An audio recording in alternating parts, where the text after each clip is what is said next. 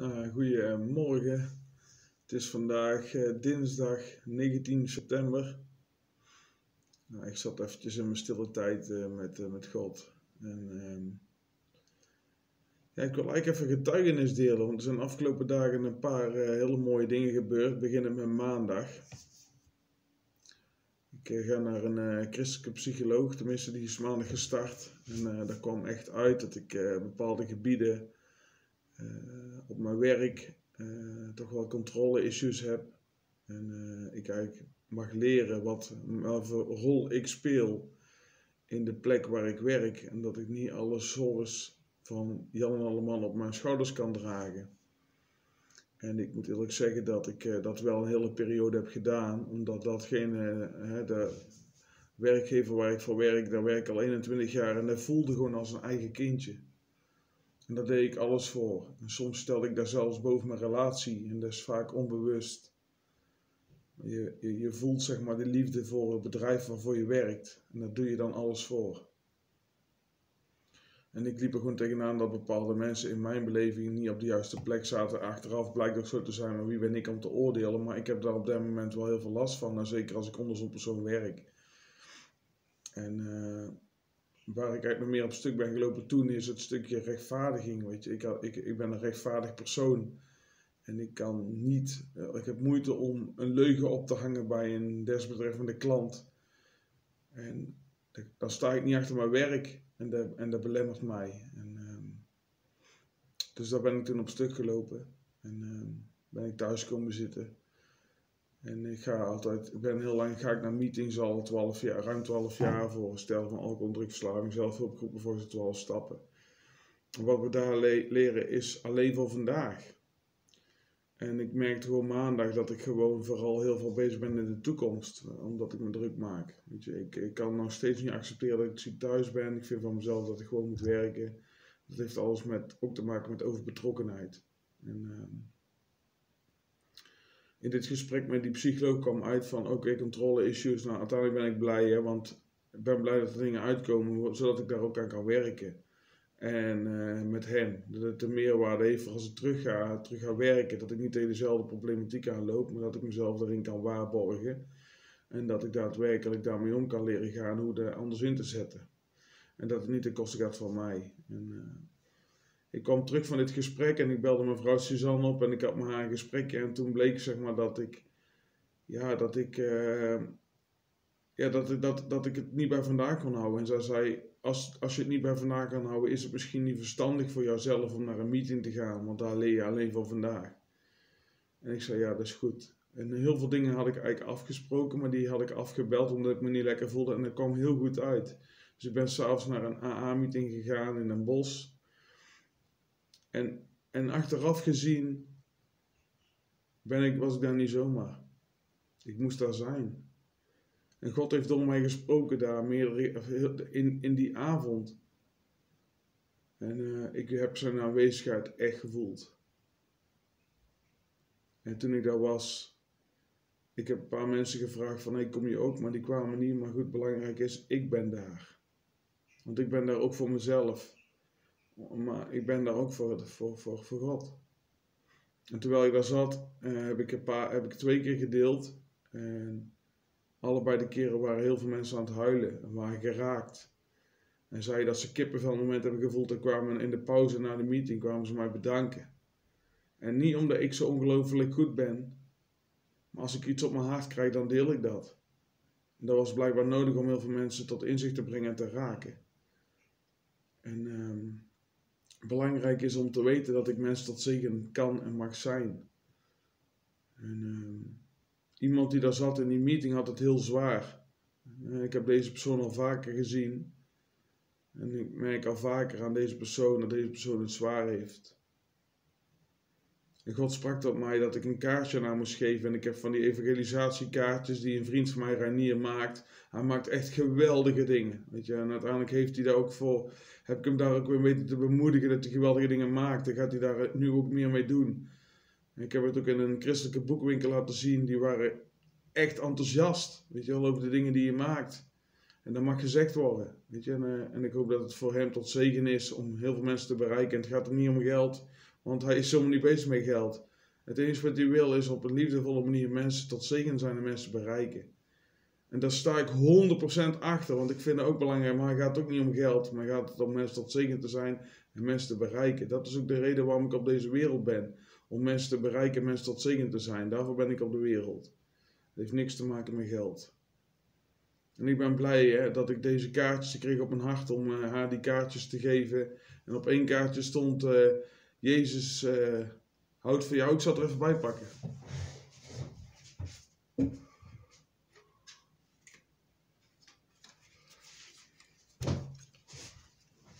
Kijk, dit is één kaartje.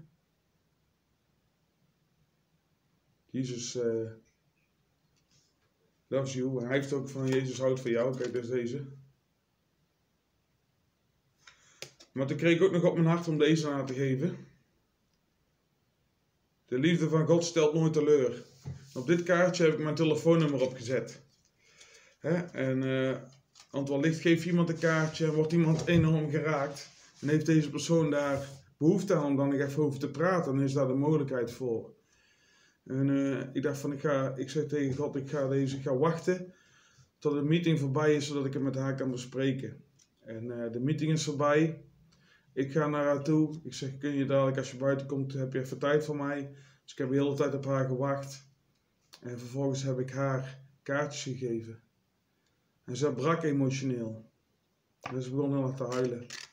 En ik had met haar een gesprek en bleek dat zij op een bepaalde manier haar leven niet meer zag zitten. En God sprak tot mij, ga voor haar bidden. Maar er waren allerlei mensen bij. Weet je, en ik dacht van nou, even een moment zoeken. Ik dacht van, ik zei, kunnen we even om de hoek gaan staan? En mocht ik voor haar bidden. En ik geloof sterk dat als ik ga bidden voor iemand, dat God om mij heen werkt, want dat heeft hij meerdere keren gedaan. En Jacobus vers 5, Jacobus 5 vers 16 zegt, een rechtvaardige in gebed vermaakt veel omdat de kracht hem wordt verleend. Ik ben zo ontzettend dankbaar. Ik ben voor gaan bidden. Oh, en ik stond echt helemaal in de fik. En zij, zij, zij was heel emotioneel. Ze vroeg, mag ik je knuffelen? Nou, ik heb even de anderhalve millimeter regel aangehouden en ik heb haar een knuffel gegeven. In plaats van de anderhalve meter. En ik heb haar een knuffel gegeven. En, en, en ik zeg, er staat een telefoonnummer achter op het kaartje als je vragen hebt. En s'avonds kreeg ik een bericht van, oh Koen, ik voel verandering in mij, kan dat? Ja, dat kan. Dat kan. En de dag erop stuurde ze weer een bericht, ik voel verandering nog steeds Koen. Wauw, dankjewel dat je dit gedaan hebt. Bedank niet mij, bedank hem. Alle eer en glorie komt hem toe, want ik krijg de opdracht van hem om uit te stappen. En als ik niet uit was gestapt, was deze persoon niet aangeraakt. Belangrijk is dat ik dan die stem hoor in mijn hart of in, mijn, in, mijn, de, stem van God die tot mij spreekt. Ik mag daarnaar handelen. En telkens meer laat hij mij meer en meer zien hoe, goed, hoe, hoe ik in zijn koninkrijk mag wandelen. En mensen tot zegen mag zijn en mensen mag bereiken en voor mensen mag bidden. En deze persoon is nog steeds geheeld. Heeft gevraagd van wil je vaker voor mij bidden. Ik heb, ik heb neem maar voor in voorbedes. Dat is belangrijk. En het is belangrijk om te zien dat zo iemand tot zegen kan zijn dat ik op, som, op, op die plek moest zijn om meerdere harten aan te raken, maar ook haar aan te raken. dit YouTube-kanaal is ook mensen tot zegen. Ik heb mensen die hebben zich daarbij aangesloten die ik niet ken, die geraakt zijn. Wauw, dat, dat, dat, dat, dat deze kans bestaat. Dat, dat, dat iemand door het zien van mijn filmpjes daadwerkelijk op een plek komt waar deze persoon daadwerkelijk herstel kan vinden om haar met haar problematiek om te gaan dan is dit kanaal tot zegen. Dan is het al, het is het al waard om het überhaupt te maken. Maar het is al, het is, het is al mensen tot zegen. Dus het is al perfect gegaan. Weet je, ik hoef niet een perfecte plaatje. Maar bedoeling was om mensen te raken. Om mensen tot zegen te zijn. En dat is al gebeurd. Dus, weet je, ik ben alleen maar blij dat ik deze stap heb gezet. En, um, en, en, en, wat ik nog wil delen is, is, is wat gisteren is gebeurd. Ik had gisteren een gesprek op de zaak. om af en toe even koffie drinken, hoe het allemaal gaat. In de ziekteperiode. En laatst in mei, weet je, Satan is iemand in de geestelijke wereld. Die is niet blij dat ik voor Jezus heb gekozen. En wat hij probeert is op zijn afstandsbediening, probeert die knopjes in te drukken. Waarin hij mij overstuur kan brengen. Want hij wil mij eigenlijk uit het koninkrijk hebben dat ik eigenlijk mijn eigen afkeer van Jezus en uiteindelijk weer naar de, terug ga naar de wereld. Want dan heeft hij weer recht op mij. En soms lukt het om via andere mensen pijnlijke knopjes in te drukken. En laatst in mei zei, eh, eh, tenminste zo kwam het bij mij binnen iemand van personeelszaken tegen mij na 21 jaar, wordt het niet eens tijd om iets anders te gaan doen, Koen. En dat voelde alsof hij gewoon echt een mes in mijn rug stak. En daar bracht me heel veel verdriet en pijn. Daar had ik heel veel verdriet van en pijn van. En wellicht was het nooit zijn intentie om dat op die manier te zeggen, maar zo kwam het wel bij me binnen. En gisteren kreeg ik een appje van mijn baas, van uh, mijn leidinggevende, kom je nog? Want ik zit hier te wachten, blijkbaar met die persoon. Ik wist het niet. En ik heb daar in mijn grens aangegeven. Ik zeg van nou, ik wist niet dat deze persoon erbij zou zitten. Dat heb je niet verteld. Het maakt me onrustig. Ik heb om gebed gevraagd aan Suzanne. Ik heb laten bidden. Dat gaf mij enigszins berusting. En ik stuurde op een aantal WhatsApp-apps waar mensen op zitten die voorbeden of bidden voor elkaar. He, dus sprak ik een bericht in dat ik uh, gebed nodig had en waarom en wat ik voelde. En, en een christelijke broer belde me op en ging bidden met mij aan de telefoon. En terwijl ik met hem aan de telefoon zat, gingen we getuigenissen met elkaar uitwisselen van dingen die we hadden meegemaakt. Verhaal wat ik heb gehoord van een christelijke broer die bos bloemen kreeg en geld van de vrouw van de voorganger. Wow, ik stond helemaal in de fik. En in de fik van wow, uh, in, de, in de fik van het gevoel van wow, ik ben trots en dankbaar dat Jezus in mij leeft en ik voel me helemaal gezegend. En ik, oh wow, ik voel zoveel liefde in mij. En met die liefde ging ik naar het werk. En toen opende ik mijn telefoon om hem op vliegtuigstand te zetten of op stil te zetten. En toen zag ik dus dat allerlei christelijke broers en zussen gebeden hadden gestuurd. En die las ik. En dan werd ik nog meer door geraakt. En ik ging naar het kantoor naar binnen. En ik, en ik open mijn telefoon en ik krijg een bericht. Hoi Koen, de man van personeelszaken kan er niet bij zijn om tien uur. Oh yes, glorie aan de Heer, halleluja, dank u Jezus. Ik zeg, Heer, dank u wel, Heer. Dank u wel, Heer, dat u uw beloftes meteen waarmaakt. Dat u meteen de gebeden verhoort. Dank u wel, Heer. En ik ga naar boven en ik zeg, vrede zij dit huis. En ik ga naar boven naar de koffiecorner. En ik zie daar ook de man van personeelszaken zitten. En natuurlijk, weet je wel, ik ben voorbereid, want ik was bang. Ik voelde zoveel emotie toen ik met Suzanne sprak, dat ik ineens boos zou worden. Weet je, daar was ik uiteindelijk ook misschien wel bang voor. Omdat het zo hoog zat. Maar toen ik daar binnenkwam, was het niet.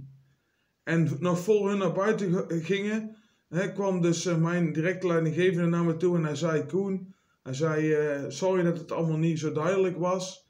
En uh, ja, ik, ik had misschien wat duidelijker moeten zijn van de afspraak met de personeelszaken. Hij is er nu niet bij. Hij zei: Sorry, ik zeg het is je vergeven. En door. En door. Want ik wil naar de gesprek. En ik had een gesprek met hem en een nieuwe leidinggevende die hem gaat vervangen. En ik heb gewoon een fantastisch mooi gesprek gehad. Ik heb ook gewoon verteld dat ik geloof in Jezus. Ik heb er niet zo heel veel over verteld, maar wat ik de Bijbel lees, veel tijd doorbreng. En dat ik daar mijn berusting in vind. En dat is ook zo. Weet je, en het mooie is, ik zou, ik kreeg in mijn hart om, om, om een jongen die ik ken, die, die, die, die bekeerd was tot Allah, die, die een persoonlijke relatie met hem zoekt met mij in gesprek wil gaan van hoe dat ik een persoonlijke relatie met Jezus heb. Hè, dat, ik die, dat ik die zou kunnen bellen en even op bezoek zou gaan omdat ik in een bos was. Maar door heel deze onrust van, die, van, van, van, van dat gesprek met die, uh, met, die, met die personeelszaken was ik daar eigenlijk vergeten. Maar God is het niet vergeten. God is die gedachte niet vergeten. Die zorgt voor doorbraken. Die zorgt voor oplossingen. En ik kom uit het gesprek van mijn werkgever. En ik uh, wil een getuigenis inspreken om de mensen te bedanken die zo uh, voor mij hebben gebeden. Die ervoor, uh, hun gebeden hebben ervoor gezorgd dat daadwerkelijk hier doorbraken waren op mijn werk. En dat ik me rustig voelde, dat, dat, dat die afspraak ineens niet meer doorging. Dat komt door gebed. Want een rechtvaardiging gebed vermaakt veel, Jacobus 5 vers 16. Dus dat wij mensen hebben gebeden. En zoals Efesius 3 vers 20 zegt, God is in staat om eindeloos veel meer te doen dan dat wij kunnen bidden of bedenken. Dat doet Hij door de kracht die in ons werkt. Dus degene die aan het bidden is, die kracht werkt. Daadwerkelijk door gebed. En dat is zo geweldig. Ik ben zo dankbaar. En ik wil, uh, en ik wil, ik wil inspreken, maar ik word gebeld. Weet je wel? Uh, en nee, ik, ik wil inspreken en ik zie... hey, die persoon die ik, die ik wilde bezoeken heeft mij gebeld. Hoe is het mogelijk? Weet je, ik was dat vergeten. En ik bel hem op. En ik ga met hem in gesprek en ik vertel hem dat ik eigenlijk hem op wilde zoeken, maar wat er gebeurd was. En hij vertelde tegen mij, Koen, ik ben aan het bidden naar de Heer. Ik weet niet wie hij is, maar ik ben aan het bidden. En er gebeurde de ene wonder naar de andere. Ik zei tegen hem, vertel, ik vertelde hem van, ik ben aan het bidden voor jou elke dag. Maar er zijn meerdere mensen aan het bidden voor jou. En ik bid, elke dag bid ik ook voor de ongelovigen. Dat staat op bladzijde 21 van het boek van Herman Boon van Bidden en Vasten. Bidden en vasten. Als je bidden en vasten gaat, krijg je dus uh, dat boek als uh, werkboek. Op bladzijde 21 staat het gebed voor de ongelovigen. Hoe bid ik voor de ongelovigen? Dus dan kun je daadwerkelijk elke dag bidden, zodat hij ook, een, zodat hij ook wordt aangeraakt en daadwerkelijk wellicht uh, ook Jezus zou kunnen vinden. Want, want, want ik zou zo fijn vinden dat als iedereen vindt wat ik heb gevonden als persoonlijke relatie met Jezus. Dat gun ik iedereen. En uh, daar ben ik blij mee. En ik ben heel erg dankbaar dat hij mij belde. En ik mocht met hem, uh, mocht hem, mijn, uh, mocht hem het evangelie vertellen. Ik mocht vertellen aan hem hoe Jezus met mij werkt. Ik mocht vertellen over mijn persoonlijke relatie. Hij had heel veel vragen, die heb ik allemaal mogen beantwoorden. Hoe bijzonder is dat? En ik dacht altijd van, ik weet die antwoorden niet. Ik wist die antwoorden wel. Ik kon al die antwoorden, al die vragen beantwoorden. En uiteindelijk hebben we denk wel een uur gebeld en ik vroeg aan hem van mag ik voor je bidden? Ging voor hem bidden en hij brak emotioneel. Weet je, en hij zei dit maak ik nooit mee want ik huil eigenlijk nooit. Ik doe het niet. Via hem is een lijntje. Wordt om mij heen gebeden. Wauw, halleluja. Ik ben zo dankbaar dat ik tot zeker mag zijn voor hem. En ik hoop voor hem dat hij ook een persoonlijke relatie vindt met Jezus. En ik mag hem daaraan bemoedigen en ik mag hem daaraan helpen. Daar ben ik heel blij mee. Vervolgens word ik gebeld door Reinier, een christelijke broer. Sta ik daar hard op te, bellen. Helemaal blij, vol blijdschap voor net wat datgene is gebeurd. En voor die doorbraak op mijn werk. En staat daar iemand, staat daar met een, met een auto van een rijschool. En, en ik ben zo enthousiast. En hij zit te lachen. Weet je, en dat is, dat is mooi, weet je, want ik, ik, ik, ik straal van binnen. Weet je, ik straal van binnen. Ik ben vol blijdschap. Ik ben vol vreugde. En dan, mag ik, en dan straal ik uit en dan zien mensen. En uh, ja, ik schaam me daar niet voor, want ik ben gewoon een, kind van Allerhoogste, ik ben een koningskind. Daar ben ik echt heel dankbaar voor. En uh, ja, ik ben gewoon heel erg dankbaar, weet je, voor alle dingen die gebeuren in mijn leven en de keuze die ik mag maken. En, uh, en, ik, en ik haal heel veel uit uit uh, Heilig Avondmaal. ik heb een tijdje geleden had ik, had ik bedacht om een meeting op te zetten voor mensen die God wilden zoeken. En uiteindelijk is dat in de corona-periode tot succes geweest, maar het is gewoon echt teruggelopen. En ik heb gewoon de beslissing genomen om daarmee te stoppen. En ik weet, als ik één deur dicht doe, doet God een andere deur open. En uh, wat ik ook heel bijzonder vind, is tijdens de corona-periode kreeg ik op mijn hart via een christelijke zus. Ze zei, belangrijk is om vaker heilig avondmaal te doen. Ik zal er nog wel een keer een filmpje over opnemen. Toen stuurde ze mij dit boekje van Jozef Prins. En ik had het eerst in de kast gelegd, maar ik ben op een gegeven moment gaan lezen en lezen en lezen. Wow, er stonden getuigenissen in, ik werd echt geraakt. En uiteindelijk heb ik gewoon met meerdere mensen via Zoom online Heilige Avondmaal gedaan. En uiteindelijk heb ik daar gewoon wekelijks moment voor ingericht om via Zoom met meerdere mensen Heilige Avondmaal te doen. En op een gegeven moment zaten we gewoon soms met acht mensen Heilige Avondmaal te doen. Over allerlei plaatsen in Nederland. Zeeland, Friesland, Randstad, Enschede, weet je. En dat was echt heel bijzonder om dingen aan het kruis te brengen, voor elkaar te bidden en samen Heilige Avondmaal te vieren. En dat heb ik gisteren ook weer gedaan. En dat blijft elke keer toch weer heel verwonderlijk hoe dat allemaal gaat. En daar ben ik echt enorm dankbaar voor. Ik ben dankbaar dat ik deze getuigenis mag delen met je. Ik wens je enorm veel zegen toe. En laat even een duimpje achter als je het een leuke video vond. Uh, abonneer je op mijn kanaal als je, daar, uh, als je je daartoe geroepen voelt. Dan blijf je op de hoogte van wat ik, uh, wat ik deel. En als je wil mag je een reactie achterlaten. En als er vragen zijn, laat sowieso een reactie achter. Wellicht kan ik je in contact brengen met mij via mijn e-mail of mijn telefoon. En wellicht kunnen we in contact als je meer wil weten. Nou, allerbeste en bedankt dat ik dit mag delen. Einde bericht. Hoi!